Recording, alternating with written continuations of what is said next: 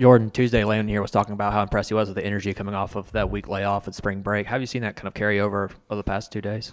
Yeah, um, I think the the last you know two practices, this one including that we just had, and then on Tuesday, I think there's been a lot of energy. Um, you know, a lot a lot of guys running around. Um, you know, we put on the shoulder pads. Um, you know, you, you hear a lot of hitting. Um, you know, it's just good to be able to see all, all the new guys um, coming coming along and uh, you know adapting to the way we practice, and it's been fun. Uh, Lane uh, talked a lot about Dart's ability to kind of be a recruiter in a way and help get some of this new transfer class in. And uh, did you see that as well? And also, kind of, did you kind of help in that in any way you could? Yeah, for sure. Um, you know, during the recruiting, uh, you know, when, when the when the recruiting was open, um, you know, a lot of the students weren't here on Christmas break and whatnot. And uh, you know, me and Dart, we were just uh, you know, you know, we were working our tails off trying to get guys, you know, going from home to here, and JJ as well. Um, JJ was helping out too. Um, you know, just just trying to build something special here, um, and, and, it's it's fun to be able to see all that come together. Um, and you know, with the recruiting portal opening back up, and get back out there and do it all over again. Jordan, you, you mentioned um, in your response to the first question, just watching the younger guys coming along. Is there anybody right now that's particularly impressing you? Yeah, you know, I think uh, I think Noreel has come along really well. Um, you know, seeing him get out there and get in the flow of things, especially since he's supposed to be in high school right now. Um, you know, adapting to college, it's it's not easy. Um, especially, you know, you're just getting thrown right into the fire. I think we have what like a month or two of training, um, and then you know we're right into it. So seeing him, you know, being able to to spread his wings a little bit, it's been fun to watch. Lane said, you know, regarding Jaxson that he's somebody that people really want to follow. What, what, from your perspective, what is it about Jaxson that makes him somebody that people want to follow? You know, I, I just think his toughness. Um, you know, I think that's something that a lot of people respect here, um, and just his willingness to not come out of the game. Um, I know during the season you've seen a couple times where he was, you know, might have been a little shaken up, and you know he wasn't coming out of the game at all. He didn't want to, um, and and looking at that from a quarterback, you know, it's it's like you know if my quarterback can do it, I want to do it too. So um, you know, I think that's his one of his greatest qualities is just being you know super super tough and you know willing to stick it out. Jordan, you referred to something special. I don't think it was the exact words that, that Jaxson and Jared used Tuesday, but when you guys say that, is it are you referring to playoffs or bust for this season? Yeah, I, I think that we set our expectations really, really high.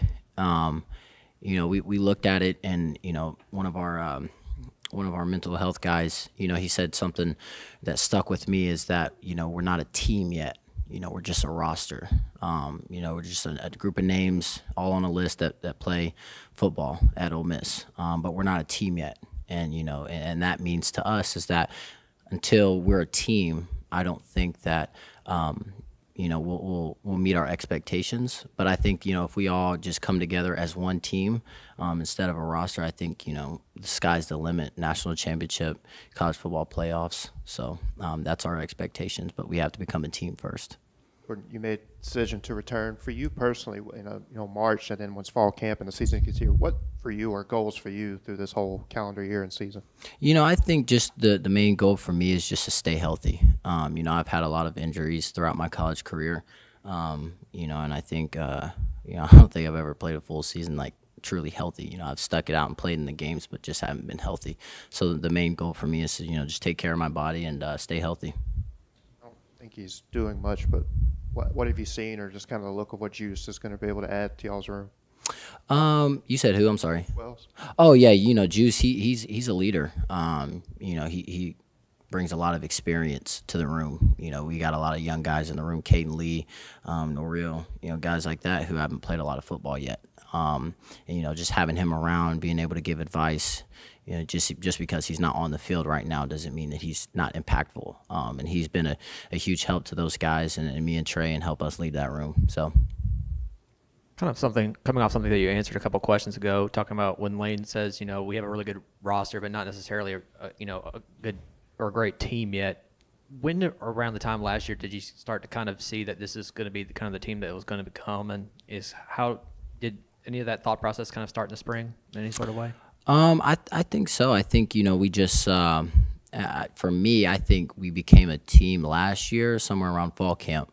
Um, and I expect that, you know, because we'll add a lot of another guy, a lot, a lot more guys in the summer. Um, you know, a couple, a couple guys. Um, and I, around fall camp is when I think that we'll become a team, um, hopefully.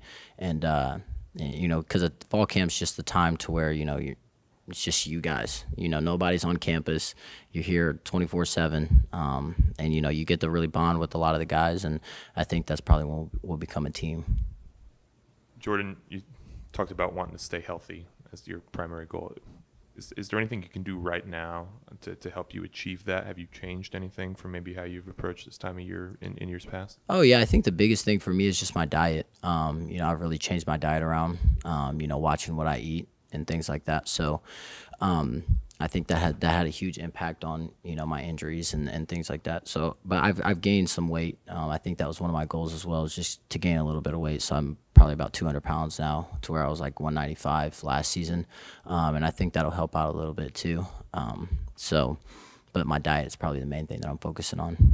What what's different about it? What what have you changed your your diet? Yeah, just eating more healthy. Um, you know, adding greens to my plate. You know, uh, making sure I have the right portion of proteins to greens and, and stuff like that. So, um, and that's truly helped. I, uh, me and Jaxson have we really pushed each other on, uh, you know, our diets. You know, just watching what we eat.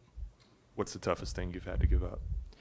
Uh, for me, um, now I was a big McDonald's guy, uh, big big McDonald's guy, and so I've had to cut that out of my diet. It's been tough. I don't think I've had McDonald's in like three months. So Kind of fun, off the wall question. You opted in to the, to the video game, or you plan to, or just your kind of your thoughts on, on players being able to be a part of that?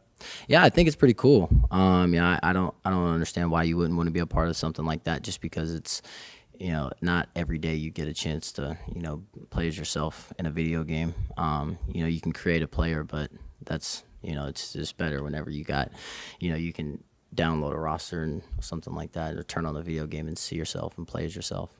Kind of a going off. rating in mind that you would give yourself? You said what? A rating?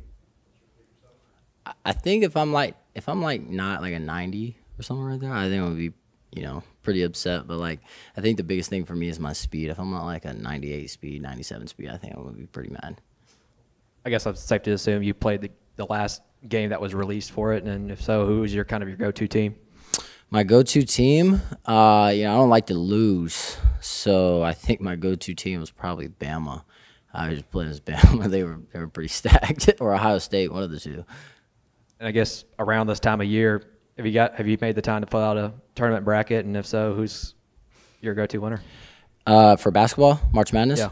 Um, I have not had the time to fill out a bracket yet, but I think for me, you know, I got to go with the home roots. Uh, I think I think UK's got a good team, and uh, you know, I hate to say it, but I think Auburn Auburn's got a good chance too. So those are the those will probably be my two is Auburn and Kentucky. One of the two will probably win it, in my opinion. Thanks, Thank you.